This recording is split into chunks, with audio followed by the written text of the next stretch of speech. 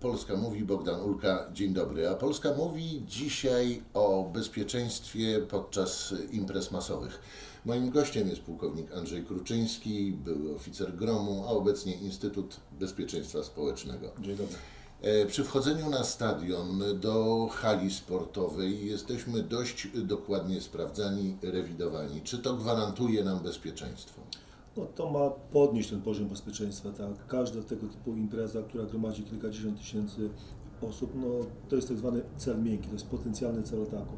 Wiadomo, ci źli terroryści, zamachowcy, nieważne jak będziemy ich nazywać, jak się nie mogą dostać do celów twardych, szukają właśnie tych celi, cele miękkie, czyli stadion. Te procedury mają spowodować, że będziemy bardziej bezpieczni, żeby nikt nie wiózł na przykład materiałów wybuchowych, żeby nie wiózł rzeczy zabro- zabronionych. To jest taki zdrowy rozsądek. Wydarzenia ostatnich miesięcy pokazują, że stadion, mecz piłkarski na przykład jest raczej bezpiecznym miejscem.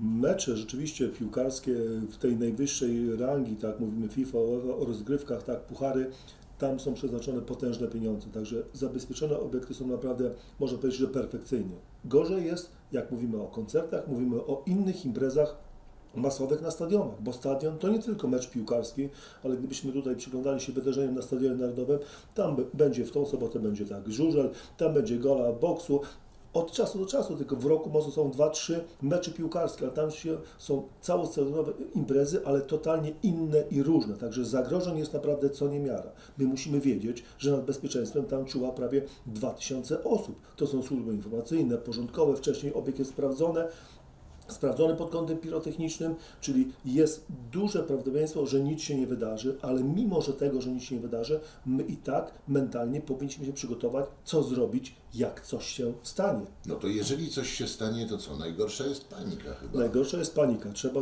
obserwować, słuchać tak wydawanych poleceń przez speakera zawodów, przez oczywiście służby, które tam są na miejscu. To oni powinni być przygotowani do reagowania, do zarządzania w sytuacjach kryzysowych, ale nas samych, uczestników takiej, udziału w takiej imprezie też nie zwalnia. Powinniśmy wykazać minimum przyzwoitości i zastanowić się, co by było, jakby coś się działo. Którędy będę wychodził? A może nie tym wejściem, którym wchodziłem, tylko przeanalizuję sobie, sprawdzę wejścia inne, alternatywne drogi. Jestem na stadionie wcześniej, tak, sprawdzam, gdzie jest punkt medyczny, bo może być potrzebny, gdzie jest toaleta, tak, yy, zastanawiam się właśnie, co mam zrobić.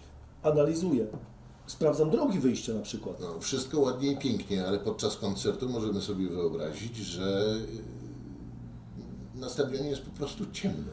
Na stadionie jest przeraźliwie ciemno i jest przeraźliwie głośno. I wtedy teoretycznie jest tylko tak zwane zarządzanie sytuacją kryzysową. Umiesz liczyć? Licz na siebie. Stare tak przysłowie mówi. Czyli jak, jak powinniśmy iść na przykład ubrani na stadion, na koncert, jeżeli to jest koncert rockowy, będzie dużo się działo, to może nie w szpileczkach, jak mówimy o kobiecie, które mają kilkanaście centymetrów, nie w długim szalu do kostek, może nie w zwiewnym szaliku pięciometrowym, jedwabnym, bo taki strój może spowodować, że poniosę uszczerbek na zdrowiu, że ktoś mnie po prostu udusi w tłumie. Czyli nasze zachowanie, zdrowy rozsądek, przygotowanie się, my dajemy sobie szansę, robiąc to, to, to, sprawdzając odpowiednio wcześnie alternatywne drogi wyjścia, przygotowując się do pewnych sytuacji mentalnie, dajemy sobie szansę. To można powiedzieć, że to jest niewiele, ale to jest coś, co możemy zrobić. Lepiej zrobić to coś, to niewiele, jak pójść na żywioł i wychodzić z założenia, a jak zwykle nic się nie stanie. A co będzie, jak coś się stanie? O, lepiej o tym już nie myśleć. Dziękuję serdecznie. Moim gościem był pułkownik Andrzej Kruczyński, był oficer gromu, obecnie Instytut Bezpieczeństwa Społecznego. Dziękuję bardzo.